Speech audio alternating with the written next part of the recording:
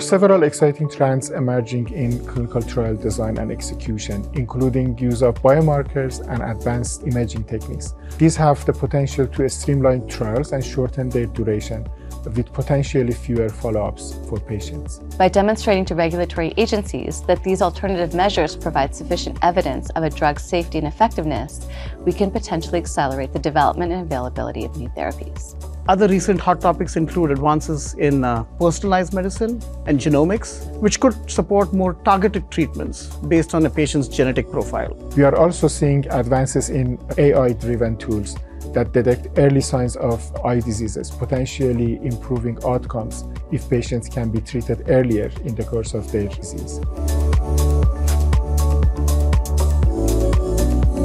One area I'm most interested in is exploring additional markers of disease progression. While traditional endpoints like clinical measures of function remain essential for regulatory approval, they may not always capture the full scope of a patient's condition or experience.